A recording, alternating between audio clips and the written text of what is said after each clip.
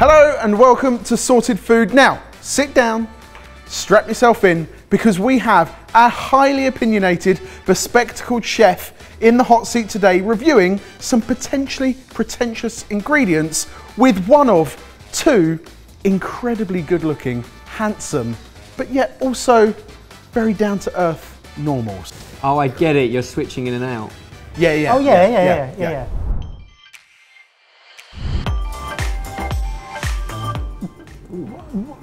Uh, bacon wrapped potatoes with some sour cream and chives. I think what you'll find is the food team have called this bacon wrapped potatoes with a nice dip. I've inquired further. The nice dip is sour cream and mustard. Straight off, doesn't look very pretentious at all. Have a sniff, have a taste. Let me know if you can work out what you think might be potentially pretentious about this. Lovely mustard dip. Well, it's going to be the potato or the bacon.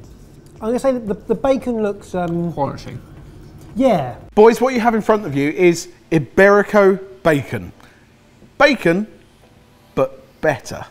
So Iberico pork is known for its juicy and tender meat. So what better way to try Iberico than in a delicious, thick rasher of bacon? The abundance of fat from the Iberico pork elevates this bacon to a whole new level whilst it melts in the pan. This is a must for bacon and Iberico lovers. Can I just double check? What is a Iberico? Is it, is it a pig, a place, or a process? Yes. Good, good chat. So Iberico, Iberico pork comes from the distinctive black Iberico pig. So it's native to areas of Portugal and to Spain. Um, the pigs eat a diet mainly of acorns, very natural, they're allowed to roam. They are the best quality pigs that you could really hope to find that are cared for in the most loving way possible and then are absolutely delicious to eat. I can absolutely taste the fat is better, and it is mostly fat, um, and it is that wonderful fat. It is exceptional. yeah. Oh, that's a good slap, bacon slap, slap. So that's the packet, that's how it comes. We got this from Fine Food Specialists. They sourced theirs from a family run company, uh, Juan Pedro Domecq. They've been doing this for two centuries. I can't think of many places where a slice of bacon is going to be bettered by this. If the price is as high as I imagine it has to be, given the process and the rules around Iberico. So speaking of price, how much do you think we paid for 250 gram packets of the Iberico bacon?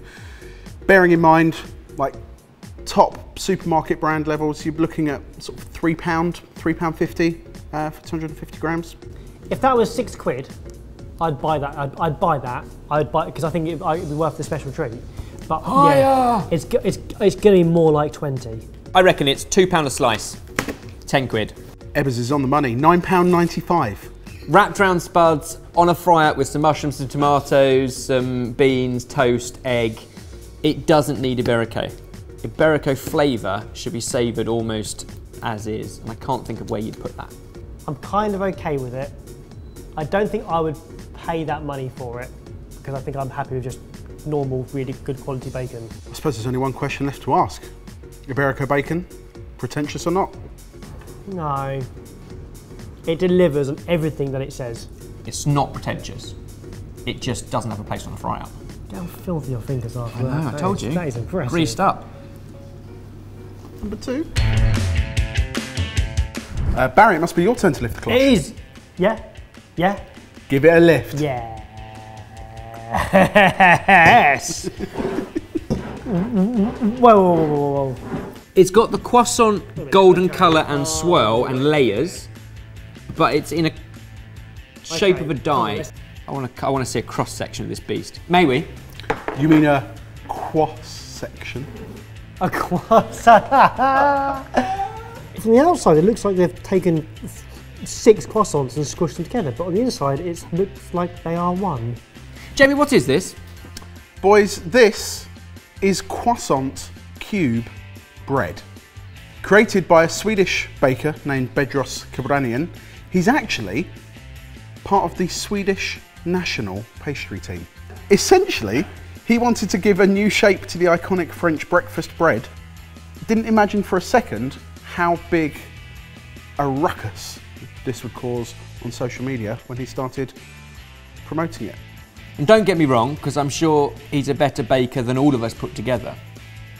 However, the very name croissant means crescent. Like it is literally named after its shape. I like croissants when they're freshly baked and they're like crispy on the outside, soft in the middle. So I've always thought, could you put a croissant in a toaster? Now I think you could.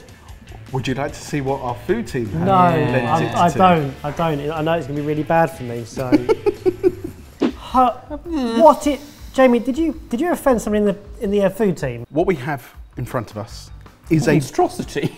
is a bread and butter pudding, but built as a cube so that the layers of thick custard in between toasted bread with a raisin jam. Posh comfort food. This, this I'm down for. Yeah. God, what this is? And then we also this? have the ultimate cheese toasty with multiple cheeses for that incredible cheese ball. I'm trying to like be conscious of my cholesterol intake, but Yeah, well, just don't have any for the next three weeks. You'll be fine.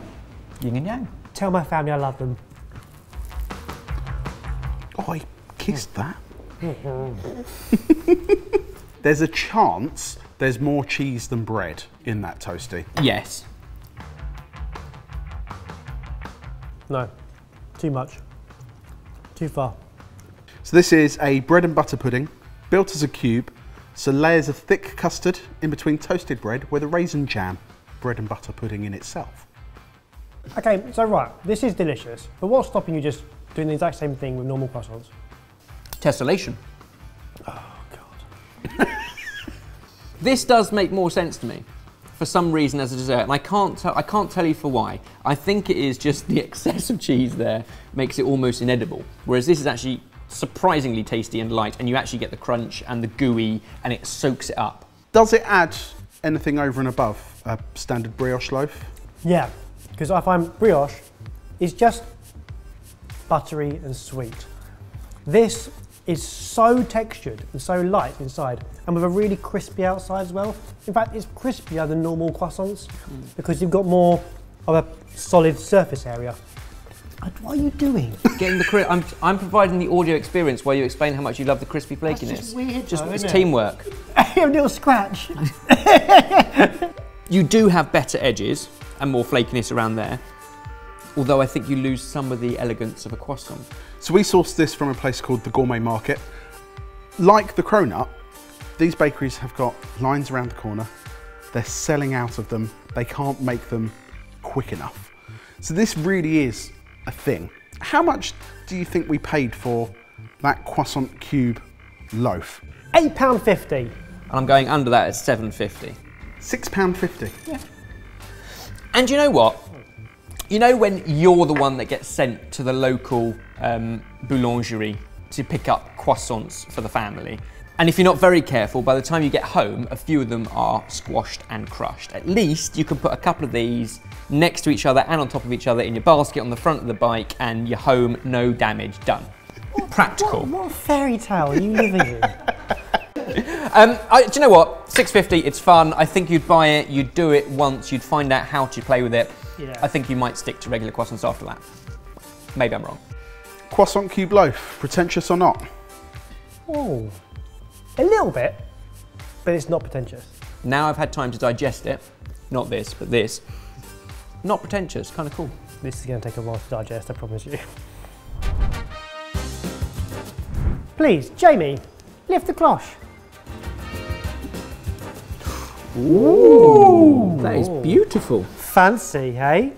So in front of you, you have a chawan mushi, which is uh, Japanese steamed savoury custard with uh, some soy marinated seafood in it. Could you just pronounce the name of the dish again? You said it so quickly, I almost didn't hear A, you you pronounce know it. what? Stuff it. Chawan mushi. I don't know if you're right or wrong. No. And the pretentious ingredient in question is in front of you as well, which is the soy sauce. Please, dig in. Wow. Wow. Whoa, Wow. whoa. That's phenomenal. Do you want to try it in the dish? It's got a wonderful wobble and set on it. Cheers. Cheers. Firstly, what are you expecting from soy sauce? I always just associate soy sauce as a seasoning, so one part of many things. Okay, so you put Seasoning triangle. with a number of other condiments, and together they season and elevate a dish. I think when it's more the focus, and when you try on its own, it's completely stand out. That's the uh, that's the soy sauce that we use here in the studio fairly regularly. Um, a fairly standard soy. So just as a comparison, side by side. Oh, okay. It's harsh. Harsh. Harsh on the tongue. Okay. Uh, the Also- viscosity is very different. Yeah, you can literally the same same volume in the dish, you can see through it. This is Kamebishi uh, soy sauce, five years old.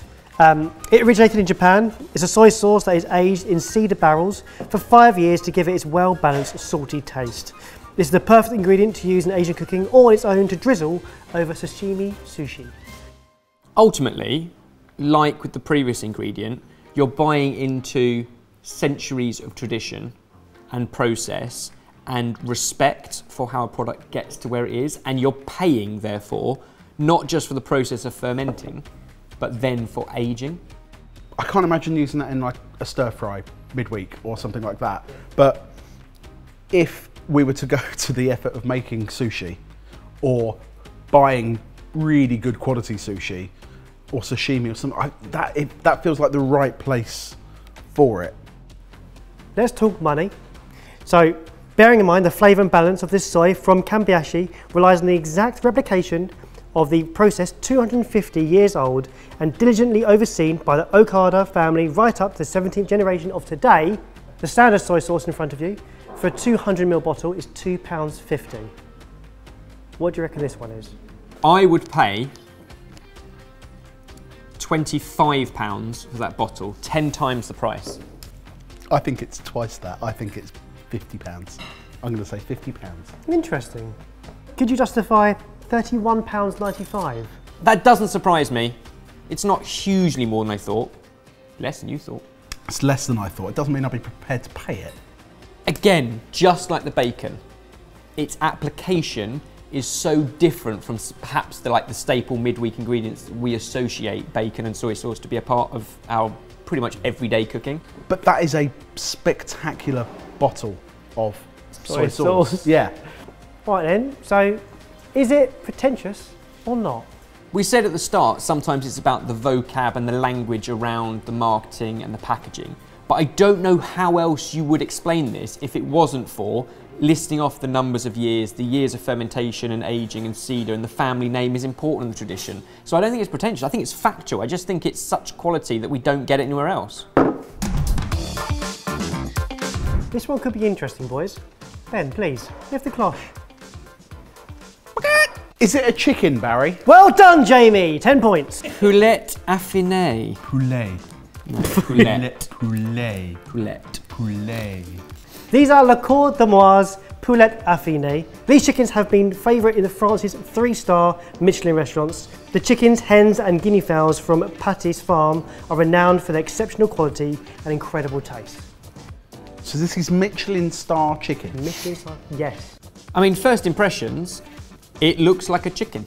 Like there's nothing special. There's no. Sometimes you can see there's a different colouring of the skin or something like that. It literally looks like a chicken. Should we eat it? I mean, cook it first, then, then eat it. Oh, Jamie, it's like Sunday lunch.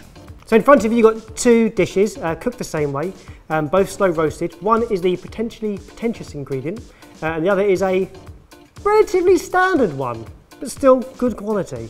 Um, start dishing up. Should do a bit of thigh, Jay. I'll give you a bit of thigh. It's worth pointing out the other one is still high welfare and really good quality. Where's picking it up? We're going in. We're going, going in. in? Fingers. You going in? Oh, you're starting with the uh, potentially pretentious chicken. The poultry is fed with the cereals produced on the farm. Maize and wheat form the basis of their diet, with the addition of essential oils and more than 25 wild plants from this protected site. These include dandelion, heather, bramble, nettles, and horsetail. These plants are all selected um, for their tonic properties, and the farmer says they give them a much more organic flavour. But what are you getting? I'm getting two very different textures Are you? from the two different chicken thighs. Okay.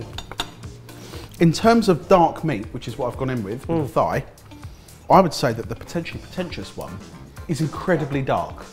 So it turns out, two weeks before their slaughter, they are on a strict diet of five different herbs, and for the hens, they are then also fed cow's milk. This creates a better distribution of the fat throughout the chicken, giving it a different texture. That feels crazy.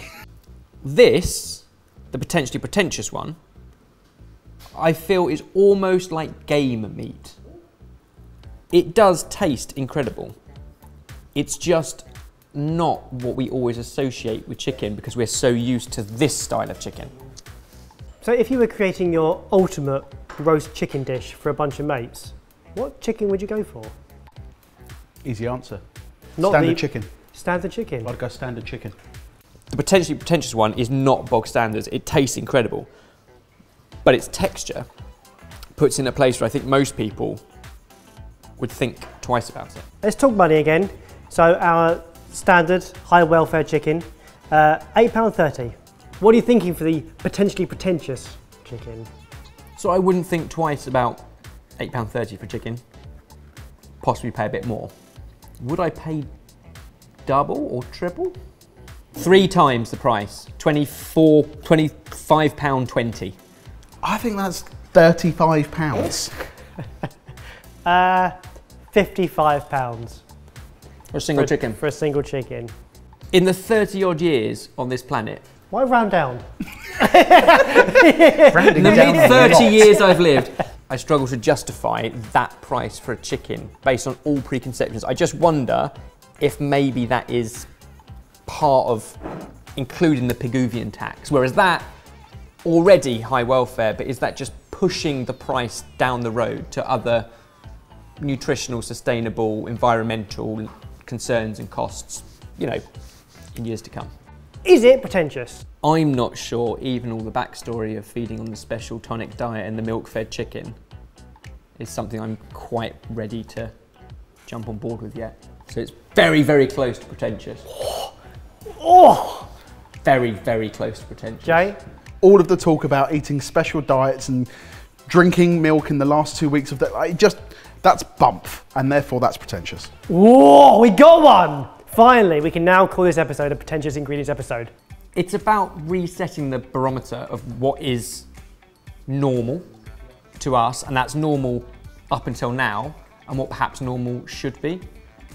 And then, probably more importantly, where you would use it. Mm-hmm. Because I think most of those ingredients today are standout on their own, but where would you use them, and is it midweek? I think that's where we need your help. Um, were any of these pretentious and what would you do with them? Please comment down below and let us know. We have an app. It's called Meal Packs and helps you plan and then cook a week's worth of meals using one set of ingredients, saving you money, cutting down on food waste, and answering the age old question what should we have for dinner? It's free to try for a whole month. The link is in the description box below.